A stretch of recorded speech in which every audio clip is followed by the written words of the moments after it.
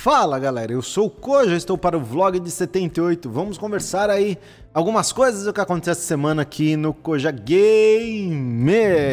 Fala seus lindos, tudo bem? Como é que vocês estão? Espero que encontrem todos muito bem. Hoje é sexta-feira e Dona Priscila, Dona Koja, vai tirar o outro dente do siso. Neste momento, quando você está vendo esse vlog, provavelmente ela já tirou o dedo, do, o dedo, olha, o dedo do siso. Puta que pariu, Koja. Ai, se ferrar. Já tirou o dente do siso. E eu não sei como é que vai estar live, como é que vão estar essas coisas. Mas eu acredito que a vida é normal, porque ela já tirou os dois outros, né, de um lado. Agora tirou esses dois outros do outro lado. Ou será que foi deste lado e depois desse? Não sei. É, ela tirou deste lado e agora ela vai tirar deste lado, os dois. Então, vida normal a princípio, mas se não estiver tendo live ou não estiver acontecendo nada do normal, vocês já sabem o que aconteceu em virtude disso. Dona Priscila Koja está é, não hospitalizada, não, só tirou o dente do siso. Aproveitando que eu estou falando da minha digníssima esposa, essa semana eu fiquei um pouco away, eu trabalhei menos que o que eu gostaria, porque a dona Priscila resolveu fazer um canal ela resolveu, ela falou: agora eu vou fazer meu canal. Vou fazer meu canal de crochê, vou fazer meu canal de artesanato. E essa semana eu tava ajudando ela com coisas, né? Ah, grava isso, faz isso, vamos testar isso, edita isso, fazer aquilo, esse tipo de coisa. O canal já tá pronto, ele tá, já tá com a arte do canal já tá com as tags, ele já tá todo pronto, só falta vídeo e vídeo vai demorar ainda um pouco. Ela pretende fazer vídeo toda terça, quinta e sábado, olha, né? Bastante conteúdo semanal. Mas é, vai demorar um pouco para sair por causa dos dentes do siso. Ela tirou os dentes e também já falei com ela que eu acredito que a gente tem que fazer aí pelo menos deixar duas semanas de vídeo guardado para qualquer eventualidade. Às vezes ela tem muita coisa para fazer, muitos é, coisas de crochê, bichinhos de crochê, amigurumis para fazer e isso pode demorar e atrasar os vídeos. Então, eu acredito, hoje é sexta-feira, dia 21, dia 21 não, hoje é quinta-feira, dia 21, dia que eu gravo esse vlog. Sexta-feira hoje, dia 22, né, que é o dia que vocês estão vendo isso. E eu acredito que pro dia 5 de junho começa, comece a ter vídeos. Eu acredito, tá? Vai depender do da disponibilidade. Agora mesmo, são 2 horas e 40 minutos, ela tá lá em cima, na, numa área que a gente tem, que é onde ela quer gravar, com a câmera, gravando. E, gente, é difícil gravar coisas de crochê, eu não sabia porque você tem que colocar numa posição que a pessoa veria. Então, para você colocar a câmera na sua frente, crochetar na frente da câmera, é uma posição ruim, a pessoa fica mal é, acomodada então acaba gerando dor nas costas, acaba gerando uma série de coisas aí que não são legais, que são chatas. Então a gente está testando colocar a câmera em outros ângulos e aí quem sabe até vou desenvolver uma forma de gravar vídeos é, que sejam mais fáceis para as pessoas verem. Não sei se pendurar a câmera, deixar a câmera pendurada né, em cima para pegar a posição de como escreve esse tipo de coisa. Mas eu fiquei feliz porque faz mais ou menos uns 5 anos que eu falo para ela fazer um canal, né? Na verdade, desde que ela começou a fazer o crochê, eu falo: você devia fazer um canal de crochê, você já foi professora, você tem uma didática boa, seria legal você ensinar as pessoas. Isso é um conteúdo que a galera quer, que a galera pretende ver, né? E aí, finalmente, agora, em virtude disso que está acontecendo hoje mundialmente, ela decidiu fazer um, o vlog. Eu até brinquei, né? Mandei uma mensagem pro Edu, BRKS Edu. Falei, olha o poder da Bilada, Edu. Faz cinco anos que eu tento convencer minha esposa a, a, fazer um canal e depois que eu comecei a fazer seu curso, eu comecei a contar algumas coisas para ela de, do curso, algumas coisas legais que eu aprendi e ela se entusiasmou e está fazendo aí, quer montar o canal dela. Aí, Koja, dá o link do canal. Ainda não, deixa ter o primeiro vídeo, eu vou divulgar né? Por enquanto não adianta, até porque para ela conseguir a URL personalizada, a gente tem que esperar 30 dias e conseguir 100 inscritos. Então, vai chegar um momento que eu vou precisar da ajuda de vocês mesmos, que vocês se inscrevam só para a gente conseguir a URL personalizada. E aí quem depois quiser, é, não quiser ficar, não tem problema, mas a princípio vamos necessitar da ajuda das pessoas sim, a boa vontade de vocês. E aí ela pretende assinar, ensinar desde o básico e até ensinar como ela começou a fazer o crochê. Não sei se vai ter vlog também, acho que não, porque ela não quer mostrar o rosto dela, mas seria interessante ter uma facecam, né, para as pessoas verem é, esse tipo de coisa. Mas ela não quer, então vamos respeitar. Quem sabe mais para frente ela entenda a importância de você ter um contato, olhar no olho da pessoa, esse tipo de coisa. Né? Os vídeos estou gravando, tenho alguns vídeos parados no canal, acho que eu tô com quatro vídeos parados no canal, deixa eu ver, até para poder falar para vocês. Visibilidade, privado, não listado e rascunho. Eu estou com um, dois, três, quatro vídeos parados no canal. Eu estou com um Heritage Armor, parada dos Tauren, Sim Slayers, que é um jogo muito legal, por sinal, Priest Alpha e DH Alpha, parado no canal.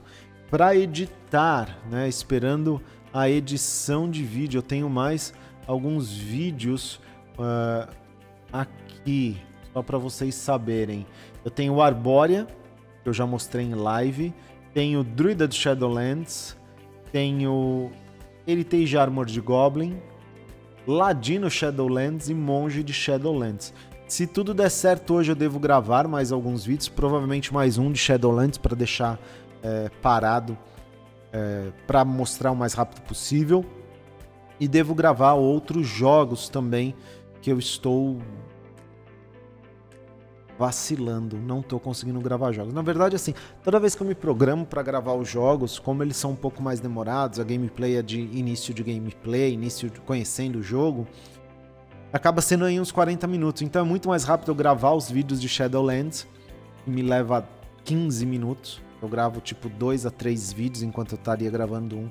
E até porque esse é um conteúdo mais consumido aqui no canal. Né? Mas eu tô vendo o que, que eu vou fazer nesse sentido. Ontem à noite tive um problema na live, né? Ontem à noite, antes de ontem, né? Na quarta-feira, tive um problema na live, acabou caindo a luz, é, caindo a luz não, acabou a internet, esse tipo de coisa, mas tá bom porque não está dando mais tantos problemas como quanto antes. É, a internet por enquanto tá levando numa boa, né? Nós continuamos aqui levando nossa vidinha no isolamento. Algumas, muita gente me pergunta, uma coisa, quantos quilos você engordou? Como é que vocês estão levando o isolamento? Como é que vocês estão fazendo? Gente, minha rotina ela não mudou desde que quando começou o isolamento. Eu e a Priscila já vivíamos meio que isolados, né? Como eu trabalho em casa e ela também, quem saía, quem sente mais a saída da rua sou eu. Mas eu saí da rua para quê? Abastecer, ir no supermercado, farmácia, posto, esse tipo de coisa que não mudou. Eu continuo indo, né? Eu preciso ir. E aí eu tomo os cuidados necessários, né? Mas no dia a dia mesmo não mudou nada e eu não, engordei nada, por incrível que pareça. Eu continuo os meus 84 quilos. É, eu gostaria de baixar um pouquinho mais, mas continuo com os meus 84 quilos, né?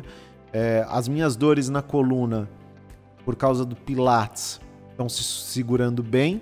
Algumas coisas eu estou conseguindo fazer aqui dentro de casa, outras coisas não estou conseguindo fazer dentro de casa, mas exatamente porque meu peso não estou mais com tanto sobrepeso, eu ainda me acho um pouco é, no sobrepeso. Eu acho que o meu peso bom seria entre 80 e 82 quilos.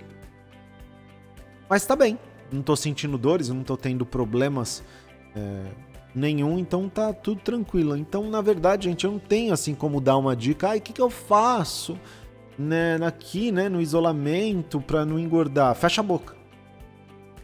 Não come o que você não tem que comer. Não é o fato que você tá mais tempo em casa que você tá comendo. Você comer mais significa que você tá mais ausente ou mais é, sem coisa para fazer. Então gere coisas para você fazer, entendeu? Gere momentos para você fazer. E sentiu fome, bebe água, né? É, melhor coisa, ou vai dormir. Minha mãe falava muito, né? Tá com fome? Era 10 horas da noite. Mãe, tô com fome. Queria comer alguma coisa. Aí ela falava: Quer comer arroz e feijão? Eu faço para você. Ah, não, não sei o quê. Então ela brincava assim: vai dormir então que o sono alimenta, que seu mal não é fome. Mas é isso que nós estamos fazendo, tanto eu quanto a Priscila. O canal, obviamente, como eu disse, deu uma bombada, tá com 19.616 pessoas hoje. É... A receita voltou a cair, tá caindo de novo a receita, as visualizações elas aumentaram, o tempo de exibição aumentou, mas a receita, o din-din, tá caindo. Tá caindo também lá no, na Twitch, o pessoal deixou de se inscrever e, e, é óbvio isso. E se cair mais a, a receita aqui no YouTube, eu vou ter que tirar os vídeos de podcast do podcast, né? Porque Aí eu já estou começando a tirar dinheiro meu para colocar no podcast. E não, não pode ser isso. Então, atualmente já chegou a ter mais de 40 membros, está com 30 membros somente, 30 e pouquinhos membros do canal. Bastante membros Cojinha, que é a partir de 3 reais. Eu falo, normalmente eu falava 4, mas são 3 reais. E Koja Members é, de 8 reais também tem alguns. Mas se continuar caindo, que está caindo, já é o terceiro mês seguido que cai o número de inscrições, eu vou ter que tirar os vídeos do, do Spotify e do SoundCloud. Vão ficar os vídeos de podcast vão ficar direto aqui no YouTube, porque lá não é monetizado. Né? A plataforma lá não é monetizada. Então acaba. O combinado era as pessoas ajudam aqui para manter as plataformas lá. Se as pessoas não estão vendo aqui, até porque os vídeos também estão decaindo a visualização, uh, então paciência, talvez seja esteja um momento já de né, continuar com o podcast somente aqui no YouTube e não passar para as outras plataformas. Mas isso não é certeza, tá, gente? É um período de sazonalidade que isso pode mudar também. Então, Talvez a hora que estiver mais próximo do lançamento de Shadowlands, mais pessoas voltem a escutar o podcast e ajudar o canal, porque entra o hype, né? Mas de qualquer maneira, é isso. Fora isso, tô com saudade de alguns amigos que não aparecem mais na live. Até hoje eu vi uma postagem do açougueiro, Natan, não sei se você assiste os meus vlogs. Um, um beijo, açougueiro, meu querido. Gosto muito de você. É, e eu vi ele postando que ele recebeu um teclado novo aí que ele comprou, até tava marcando a Ju também. E aí eu falei, parabéns, seu lindo, pelo teclado. Até mandei uma mensagem para ele no WhatsApp, mas ele não me respondeu. Tô com saudade dele. Quando eu tenho saudade dos meus amigos, assim, não costuma ser direto, eu mando uma mensagem para eles. Então tô com saudade de algumas pessoas. Pessoas também que somem da live, que nem ontem, na live de quarto. O Smoking, o Smoke tinha sumido da live e eu até tinha pensado nele também. Ele acabou aparecendo. É, e, gente, eu sinto falta das pessoas aí é, que, que participam, né? Quando vocês ficam muito tempo sem postar nada, deixar alguma mensagem, eu acabo sentindo falta de vocês. Galera, então acho que é isso. Já sabem, né? Curte, compartilhe, envie o vídeo para alguém, se for legal, se não for legal. Assim que der, eu trago mais conteúdo para vocês. Espero que o canal em breve chegue a mil, uh, a 20 mil inscritos. Faltam aí menos de 400 para isso. Espero que em breve isso aconteça. Eu vou ficando por aqui. Um beijo! E até o próximo vídeo.